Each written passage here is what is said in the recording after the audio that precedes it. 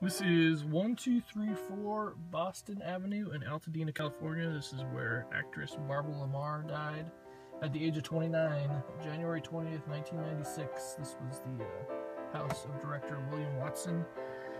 And Barbara La Marr was born Reatha Dale Watson, and she arrived in Washington. She uh, was from Washington and arrived in Los Angeles as a 14-year-old runaway, who a judge described as too beautiful to be in the big city by herself.